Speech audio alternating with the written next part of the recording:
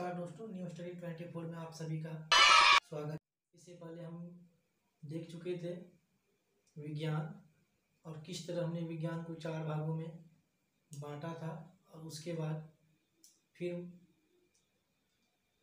भौतिकीय विज्ञान को भी दो भागों में बांटे थे और उसके बाद आज वीडियो लेके आ रहे हैं भौतिक यानी विज्ञान की वह शाखा जिसके अंतर्गत हम द्रव एवं ऊर्जा का परस्पर क्रिया का अध्ययन करते हैं एवं प्रकृति में घटित होने वाली घटनाओं की व्याख्या कर मापने का जो प्रयास करते हैं, उसे हम कहते हैं भौतिक कहते हैं। भौतिक को सुविधा की दृष्टि से आठ भागों में बांटा गया है। पहला, मैकेनिक्स, यानी यांत्रिकी।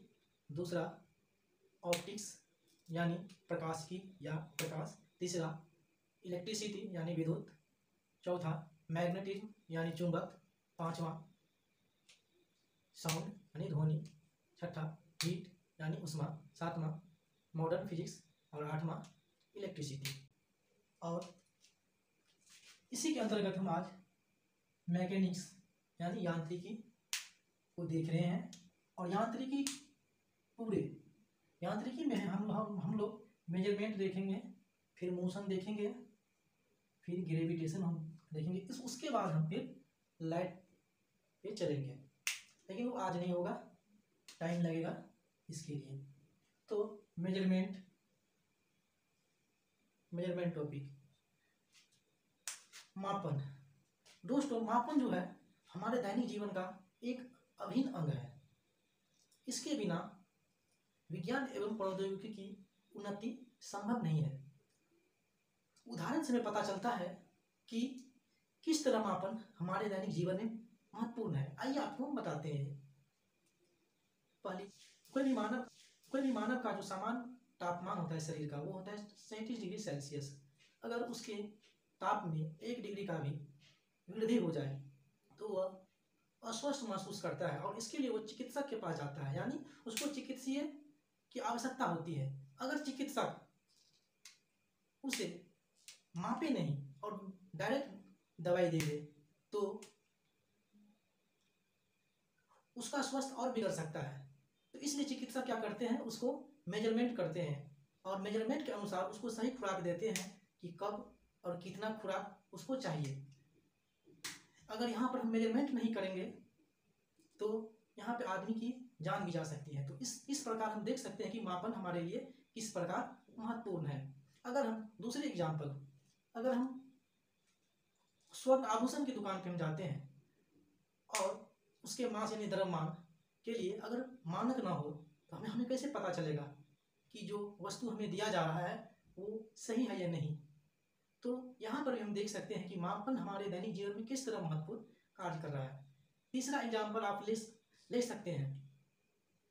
जैसे अगर आजकल अक्सर सुनते होंगे टीवी में, चाहे न्यूज़ में प्रदूषण बहुत बढ़ रहा है।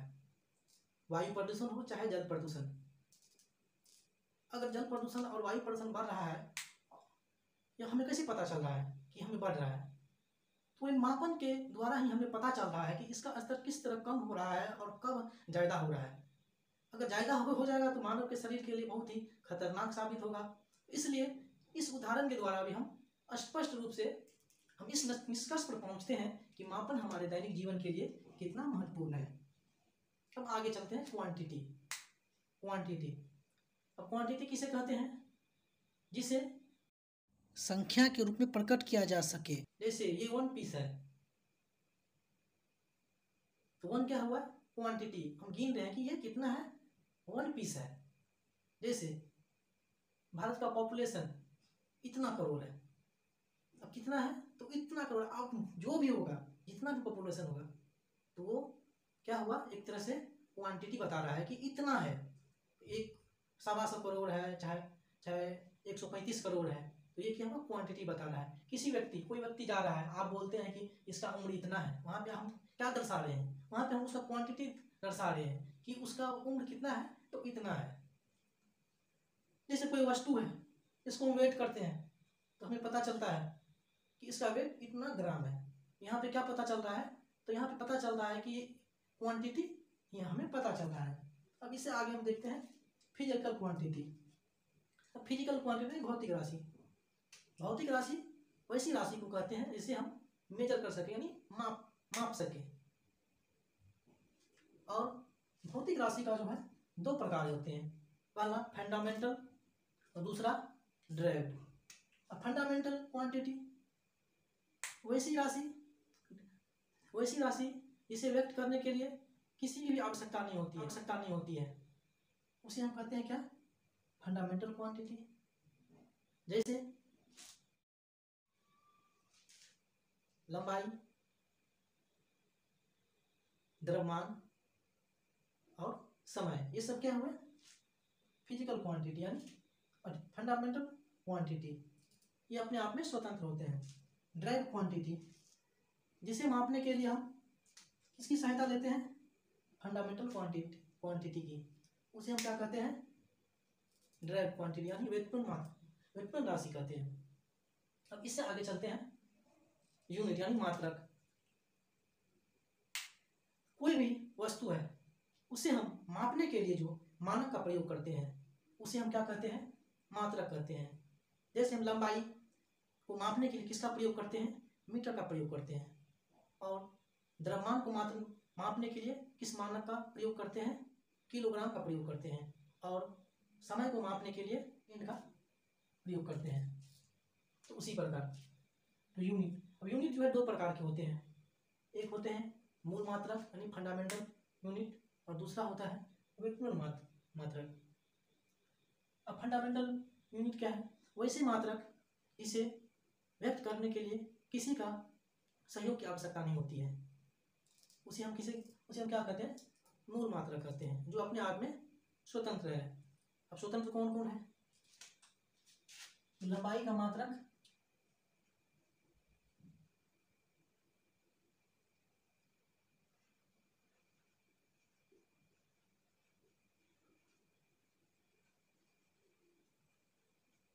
मीटर।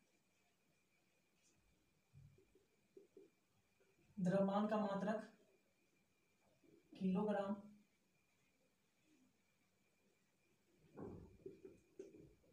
टाइम का मात्रक, यानी समय का मात्रक, सेकेंड।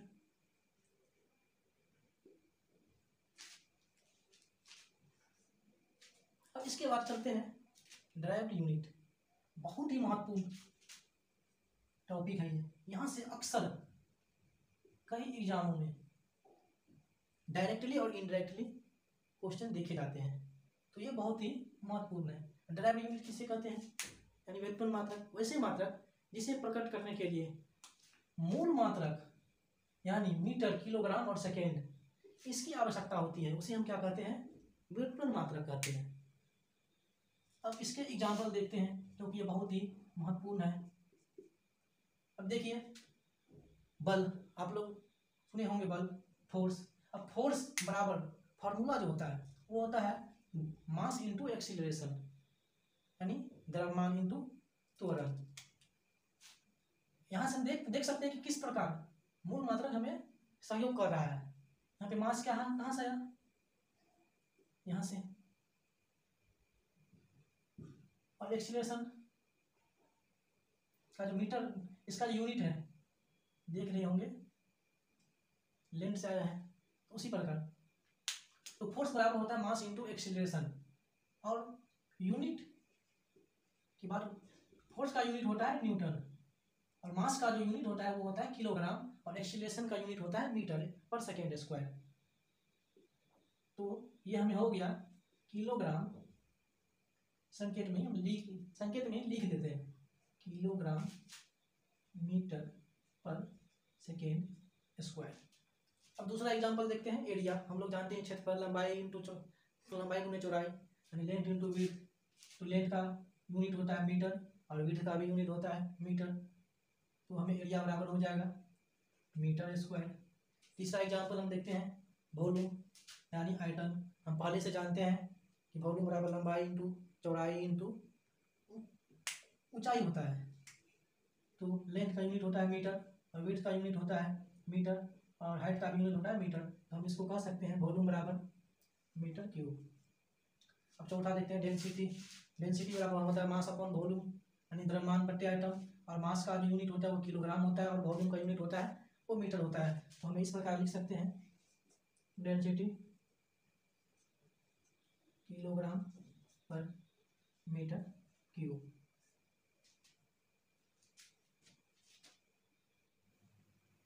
इससे आगे देखते हैं हम।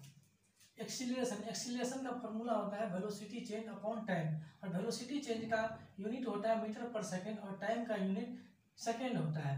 अगर हम इसको करें metre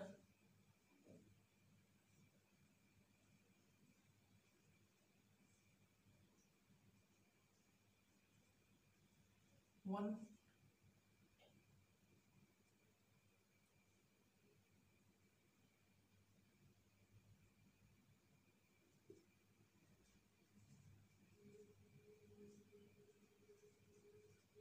second into second तो ये हो गया एक्सीलरेशन बराबर मीटर पर सेकेंड स्क्वायर अब अगला है वेलोसिटी वेलोसिटी का फॉर्मूला डिस्प्लेसमेंट होता है डिस्प्लेसमेंट अपॉन टाइम होता है और डिस्प्लेसमेंट का यूनिट होता है मीटर और टाइम का यूनिट होता है सेकेंड तो हम इसे हम लिख सकते हैं B equal to metre second.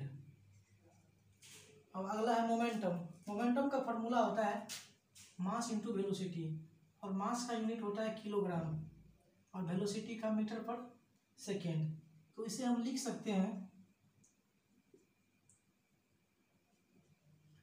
Kilogram metre पर सेकेंड अब अगला है वर्क वर्क का फॉर्मूला होता है फोर्स इंटू डिस्टेंस और फोर्स का यूनिट होता है न्यूटन, जो कि न्यूटन इससे पहले देखे थे फ़र्स्ट नंबर में और डिस्टेंस का यूनिट होता है मीटर तो इसे हम लिख सकते हैं W equal to newton metre अब ये पावर बहुत इंपॉर्टेंट क्वेश्चन है। बीपीएससी इसे दो बार पूछा है। पावर का फॉर्मूला है वर्क अपॉन टाइम और वर्क का यूनिट होता है जूल और सेकेंड का टाइम का यूनिट होता है सेकेंड तो इसे हम लिख सकते हैं equal to joule per second या इसे हम वाट या हम उसे वाट भी कर सकते हैं। और अगला है प्रेशर। प्रेशर का फॉर्मूला होता है फोर्स अपॉन एरिया और फोर्स का यूनिट है न्यूटन। और एरिया का यूनिट होता है मीटर स्क्वायर। Metre square. तो इसे हम लिख सकते हैं न्यूटन पर मीटर स्क्वायर। और और ये भी बीपीएससी में पूछ चुका है। अब अगला है इम्पल्स इम्पल्स का फॉर्मूला होता है फोर्स इंटू टाइम इंटरवल। और फोर्स का यूनिट होता है न्यूटन और टाइम इंटरवल, यानी समय अंतराल। समय अंतराल का यूनिट होता है, सेकेंड होता है। तो इसे हम लिख सकते हैं। आई बराबर न्यूटन सेकेंड। तो कहीं ना कहीं ड्राइव यूनिट व्युत्पन्न मात्रक जो है, बहुत ही इम्पोर्टेंट है, क्योंकि यहाँ से हम देख रहे हैं, इससे पहले फ़र्स्ट नंबर का जो था, बल फोर्स जो था, वो भी बीपीएससी में आ चुका है, और इसके बाद ये दो बार आ चुका है पावर और प्रेशर भी जो है, वो एक बार आ चुका है। तो कम से कम इस पर ज़्यादा ध्यान दे। नेक्स्ट नेक्स्ट है सिस्टम ऑफ़ यूनिट यानी मात्रकों की पद्धति। तो मात्रकों की पद्धति की बात करें तो चार प्रकार की मात्रा की पद्धति है। एम के एस पद्धति सी जी एस पद्धति एफ़ पी एस पद्धति और एस आई सिस्टम जब हम लेंथ का यूनिट मीटर लेते हैं और मास का यूनिट किलोग्राम लेते हैं और टाइम का यूनिट सेकेंड लेते हैं, तब उसे हम एम के एस सिस्टम कहते हैं। यानी एम के एस पद्धति। जब हम लेंथ का यूनिट सेंटीमीटर लेते हैं और मास का यूनिट ग्राम लेते हैं और टाइम का यूनिट सेकेंड लेते हैं, तब उसे हम कहते हैं सी सीजीएस यूनिटी। जब लेंथ का यूनिट फुट और मास का यूनिट पाउंड और टाइम का यूनिट सेकेंड हो तो उसे हम कहते हैं एफ़ पी एस सिस्टम। अब इसके बाद है एस आई सिस्टम। यह भी बहुत ही इम्पोर्टेंट है। अब एस आई सिस्टम में एस क्या है? ऐसा एक संक्षिप्त नाम है। एस और प्रेजेंट में जो है एस आई यूनिट का ही प्रयोग लगभग संसार के हर जगह किया जा रहा है। और एस आई का हेड क्वार्टर जो है, यानी मुख्यालय, वो फ्रांस के पेरिस में है।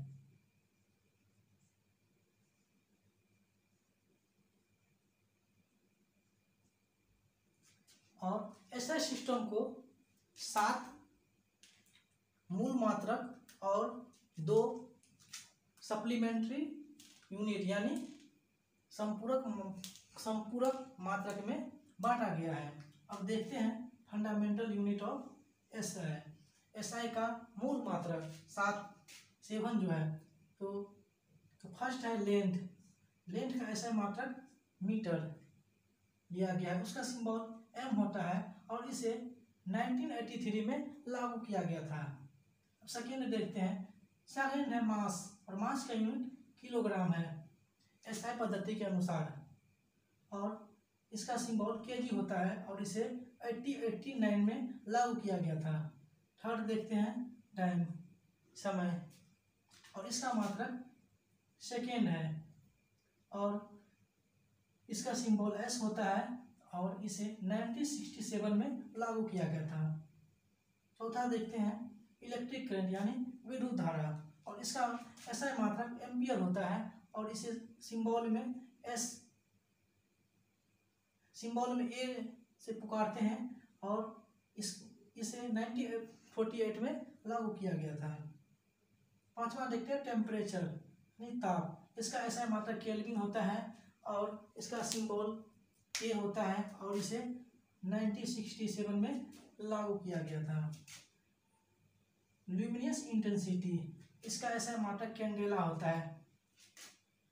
यानी ल्यूमिनियस इंटेंसिटी मतलब प्रकाश तीव्रता और इसे लागू किया गया 1979 में। अब सातवां मूल मात्रक देखते हैं। सातवां मूल मात्रक है अमाउंट ऑफ़ सबस्टांस मतलब पदार्थों की मात्रा। इसका ऐसा यूनिट मोल होता है और इसे एम से सूचित किया जाता है और इसे 1971 में लागू किया गया। अब देखते हैं सप्लीमेंट्री यूनिट तो सप्लीमेंट्री यूनिट के अंतर्गत दो यूनिट है प्लेन एंगल इसे जिसका ऐसा है मात्रक रेडियन होता है और सोलिड एंगल जिसका ऐसा है मात्रक स्टेरेडियन होता है। तो आई होप आपने समझ लिया है। आज के लिए बस इतना ही। अब आगे की क्लास नेक्स्ट डे होगी। तो अभी तक आपने अगर न्यू स्टडी ट्वेंटी फोर को चैनल को सब्सक्राइब नहीं किया है तो सब्सक्राइब कर लें। लाइक शेयर और कमेंट ज़रूर